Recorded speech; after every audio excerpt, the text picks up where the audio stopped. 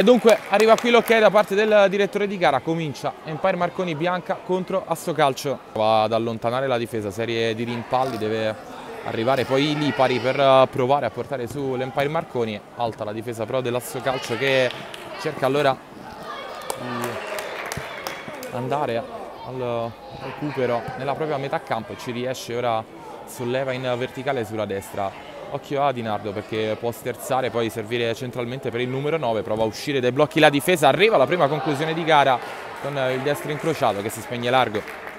Calcio quando sono quasi due minuti sul cronometro ricordiamo tempo singolo da 20 a disposizione delle due squadre qui ancora a sto calcio a provarci con Gaeta.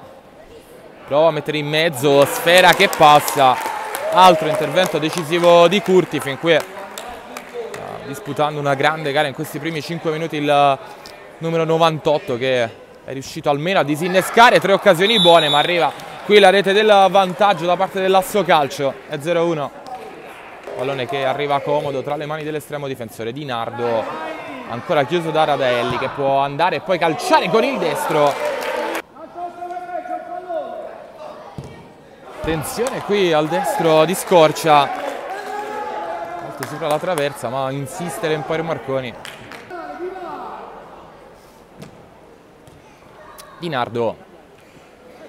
Prova a tornare a ragionare ora l'asso calcio Radaelli, però la recupera, poi la fa battere sul corpo di Gaeta.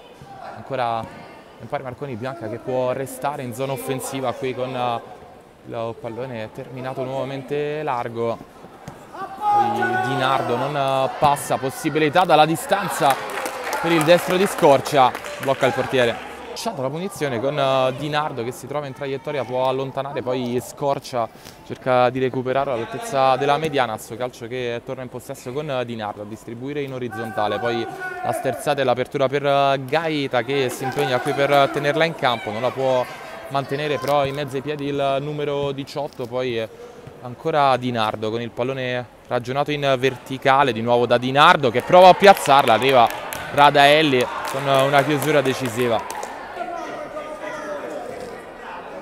Di Pari Di Nardo prova a sterzare ancora Di Nardo con il destro gran gol e raddoppia l'asso calcio con Di Nardo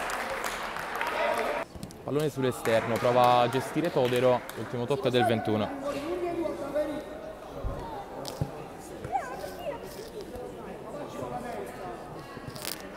di Pari.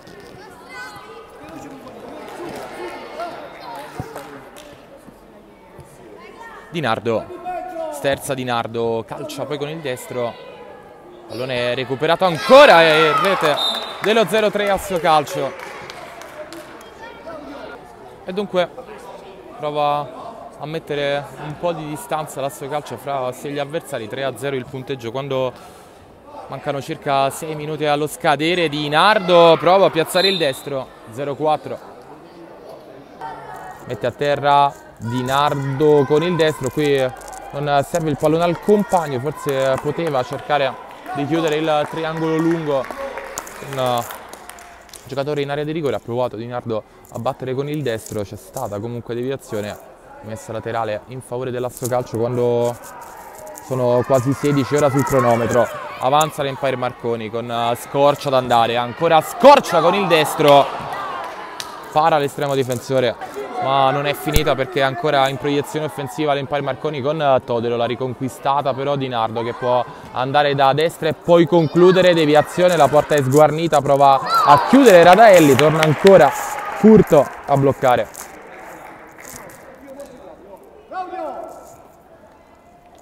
Di Nardo per vie centrali lascia lì il pallone al compagno. 0-5 a suo calcio.